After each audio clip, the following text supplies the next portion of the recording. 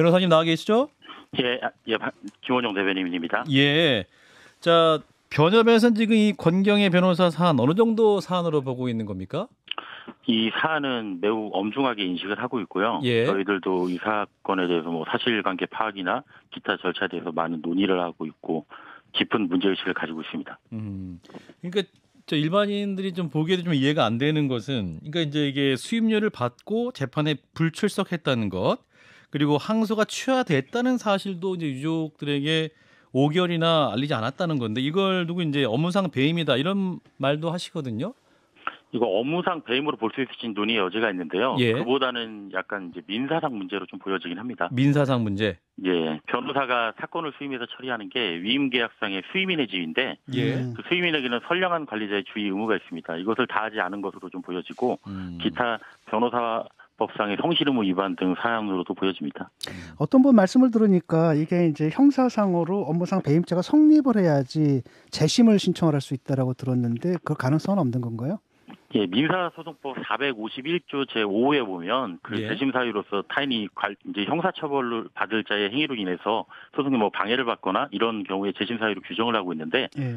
이 사건의 경우에는 이러한 그 사정 이 규정에 적용을 받아서 재심까지 열리기는 매우 어렵지 않나 생각됩니다. 그러니까 지금 보면 뭐 권경의 변호사의 케이스뿐만 아니라 여러 차례 변호사들의 잘못으로 인해서 항소할 기회를 놓치거나 뭐 연락이 안 돼서 뭐 이런 경우 등의 문제가 생기는데 사실 이 원고 입장에서는 그 소송을 기다리고 있었는데 변호사가 연락을 안 주면 당연히 뭐가 진행이 되겠거니 생각하다가 이제 이런 일을 겪게 되는 거 아닙니까?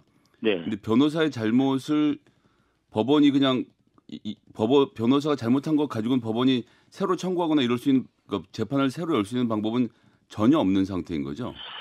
뭐 사실상 좀 없다고 생각됩니다. 왜냐하면 음. 기판력이 있기 때문에 동일한 사실에 대해서 다시 판단하는 것이 또 쉽지도 않고 예. 유일한 방법은 재심인데 말씀드렸다시피 재심 사유도 극히 제한적이기 때문에 음. 좀 어렵다고 생각됩니다.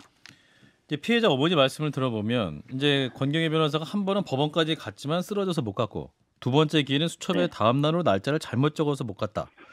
그리고 유족에게 재판기를 알려주지 않은 건 직원이 그만둬서 본인이 챙겼어야 되는데 그러지 못했다. 뭐 이런 말입니다. 예. 이제 권경의 변호사도 이제 개인 사정이 있을 수 있겠죠. 근데 이제 이런 경우 어떻게 봐도 일반적인 상황은 분명 아닌 거죠. 매우 뭐 비정상적인 상황이라고 보여집니다. 이 사건은 민사 소송인데요. 예. 민사 소송은 요즘 전자 소송으로 처리가 됩니다. 전자 소송으로 진행이 되게 되면 그 각종 기일이나 이런 문자에 대해서 이런 문제에 대해서 대리인에게 핸드폰 문자 메시지가 오기도 하고 예. 그리고 그 이메일로도 또 통지가 오고요. 음. 그것이 아니더라도 변호사가 수시로 전자소송에 로그인해서 자신의 소송 진행 내역들을 파악할 수가 있는데 예.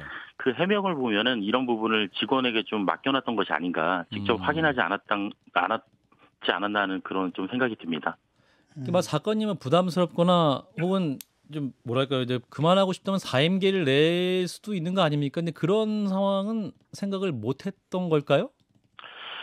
제가 그 부분까지는 모르겠는데 어- 어떠한 사정인지 도저히 알 수는 없는데 예. 좀 매우 이례적인 상황이고 음. 그리고 그것보다도 만약 이런 일이 있었다고 한다고 하더라도 그 솔직하게 좀 유족에게 얘기를 미리 했어야 되는 것이 아닌가 하는 생각이 사정에 대해서 예, 그리고 그 음. 전제로 의뢰인과 소통이 잘 되지 않은 건 심각한 문제라고 생각합니다. 음. 이것도 이제 유족들이 공개한 내용을 보면 이제 사과문을 요구하자 그렇게 되면 자기는 매장된다. 그것만 봐달라 이렇게 예언을 했다고 하고 이제 일- 일방적으로 9천만 원을 주겠다 각서를 썼다고 하는데 이 9천만 원은 어떻게 나오는 금액일까요? 뭐 어떤 기준으로 책정하셨는지는 잘 모르겠는데요. 예. 이것이 각서고 음. 유족과의 그 예를 들어서 뭐 합의 상대방이 지시된 합의서가 아니고 예. 일방적으로 이행하겠다는 각서인 것 같은데 그것보다는 우선 뭐 공개 사과문을 요구하셨다고 확인하는데 그것보다는 진지한 사과가 뭐 선행됐어야 하지 않나 싶고요. 예. 그럼 9천만 원의 산정 기준은 저도 잘 모르겠습니다. 이게 지금 1심 재판에 따르면 34명에 대한 소송 비용 역시 이 피해자의 부모 측에서 부담해야 되는 상태이지 않습니까? 이, 이거대로 하면 피해자 입장에서는 권경의 변호사에게 이 부분까지 다 내라고 민사 소송을 걸 수도 있는 건가요? 네, 이론적으로는 가능합니다. 그 아까 말씀드렸다시피 위임 계약상에 지금 그 의무를 성실히 수행하지 않았기 때문에 채무 불이행이나 아니면 나아가서 불법 행위로 청구원인을 구성해서 손해배상 청구를 하면서 이런 부분에 대한 손해를 이제 배상할 것을 청구할 수도 있겠죠. 지금 음. 변협에서는 그러면 권경의 변호사 접촉을 해서 뭐 징계 절차 이거 좀 게시를 하시는 건지 절차는 또 어떻게 되는지도 궁금하거든요. 예, 현재까지 저희가 뭐 연락이 되거나 접촉을 했거나 하는 사항은 음. 없는 것으로 판단되고요. 예. 일단 그 월요일 오전에 4월 10일 그 변협에서 상임 이사회가 있습니다. 예. 그때 안건으로 상정이 될 텐데 권경혜 변호사 직권조사 승인 요청일 건으로 그 안건이 상정될 것입니다. 이사회에서 논의를 하고 그 다음에 직권조사가 개시가 된다고 한다면은 예. 그 권경혜 변호사에게 경위서를 요- 제출 요청을 하게 됩니다. 음. 제출 기한은 최대 2주 정도 부여가 되고요. 그 4월 마지막 때쯤에 그 저희가 그 조사위원 징계 조사위원을 선정해서 경위서를 전달하면서 조사 보고서를 작성할 것을 요청드리게 됩니다. 음. 그래서 조사 보고서가 작성이 되면 그 5월 8일에 예정된 아마 예정이긴 한데요. 예. 그 변협 조사위원회에서 예. 그 조사 보고서를 토대로 징계 개시 청구 여부를 결정할 것입니다.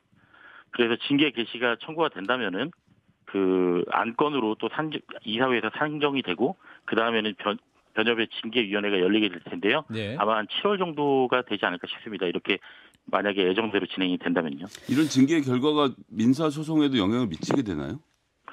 민사 소송에 유력한 증거로 사용될 수도 있겠죠. 그 부분은 구체적인 재판 내용이라서 제가 미리 말씀드리기는 어렵습니다. 예. 근데 이 정도 사안이면 어느 어느 정도의 징계가 나올 수 있나요? 기존의 유사 성실 의무 사안 이런 것들을 보게 되면은 예. 그 제명 건이 있었지만 제명 건은 다른 비위가 다 결합된 건이었고 변호사 이 당- 제명. 예 이거는 너무 복잡한 심각한 사안이라서 이 사안에 될 것은 아니고요. 예. 이 정도 이제 정, 최대 정직이나 아니면 그 이하 다른 징계도 나올 수 있을 것입니다. 정직은 정직. 보통 몇 얼마나 기간 동안 하는 건가요? 정직은 최대 3년인데요. 최대 실무상으로는 뭐 그 아래 이제 1년이나 뭐 2년이 이렇게 다양하게 결정되고 아. 있습니다. 변호사 자격 정지 3년 정도 가능할 수 있다. 최대. 예, 예 음. 그렇습니다. 저희 이제 CBS 노콘스 단독에 보면 권경희 예. 변호사가 당시 재판부에 변론할 기회를 달라면서 기일 지정 신청서를 제출한 걸로 확인됐는데 예. 정작 권 변호사가 재판부가 새롭게 지정한 기일에도 나오지 않았다라는 또 보도가 있네요. 그럼 이건 상황 어떻게 봐야 됩니까? 그 쌍방 불출석 불출석 치아 간주라는 제도인데 예. 두번 불출석하게 되면은 음. 그 30일 내 기일 지정 신청이 없으면은 치아 간주가 됩니다. 예, 예. 근데 그에 대해서 기일이 지정됐는데 다시 음. 출석하지 않았다는 것인데 이 부분은 상식적으로 좀 납득이 가지 않습니다. 그러니까 두 번 출석하지 않았기 때문에 또 이제 기일을 신청해서 이제 어떻게 또 하려고 했는데 그거마저도 가지 않았다는 거네요. 그러니까 결국에. 어, 그런 내용으로 파악되는 것 같은데 상당히 좀 이해는 안 가는 부분입니다. 그 예. 쌍방 불출석은 뭡니까? 그쪽 반대쪽에서도 앞- 나- 안 나왔다는 얘기인가요? 이게 무슨 얘기죠? 아 민사소송법 268조에 규정이 되어 있는데요. 예. 예를 들어서 그 만약에 피고 이 사건은 권경희 변호사가 대리했던 것이 원고지요. 예. 예. 피고 입장에서는 원고가 나오지 않으면 원고가 불출석 상태일 때 예. 피고는 출석했더라도 변론하지 않고 불출석 처리를 할 수 있습니다. 아, 예. 음. 그래서 굳이 뭐 판단받을 이유가 없는 것이죠. 왜냐하면 일부 피고들은 많은 피고들이 1심에서 원고의 청구가 기각되었기 때문이죠. 예. 그래서 불출석으로 처리하게 되면 이에 불출석이 돼서 실무상으로 쌍불이라고 얘기하는데 아. 그래서 결국 쌍불 치하로 강소심 치하된 것으로 되고 그 피고들에 대해서는 원심의 내용이 그대로 유지가 된 것입니다. 알겠습니다. 오늘 말씀 여기까지 듣겠습니다. 고맙습니다. 예, 감사합니다. 대한 변호사협회 김원용 대변인이었습니다. 좋아요, 구독. 알림 설정.